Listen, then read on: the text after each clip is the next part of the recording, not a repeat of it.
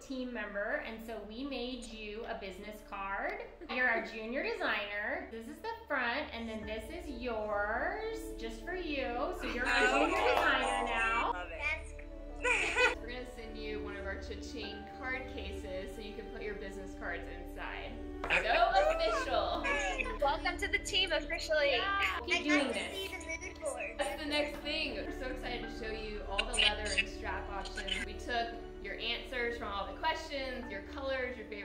hobbies, and really try to create something that you would love. I hope you're ready to start designing. The flower one, I really like how it's like multicolor, where it's the silver glitter and then there's like a lot of colors on it. So that's pretty cool. The colors are like blended in the picture below the flower with the hand. Mm-hmm. That's really, that's really pretty too. And then the fabrics up here, I like the shiny teals and the silver. Option two. She keeps telling me she loves that chain that you would use in the summer.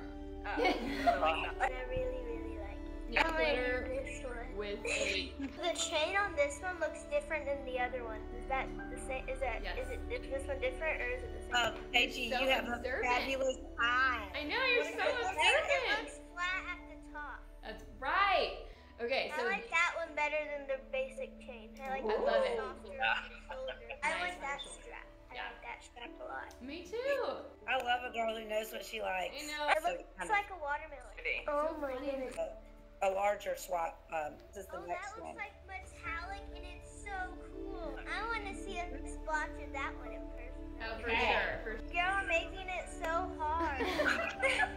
Your left. Yes. Yeah, with the glitter. Oh my gosh. My definite top three are the two that you were holding, and then the last one, the blush one.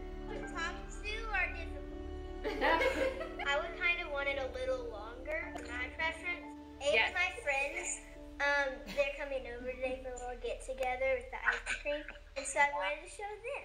Thank you, junior designer. Hi, Miss Kelly and team. I picked out what design I want for the purse, and I wanted to make a reveal to show you. So here we go.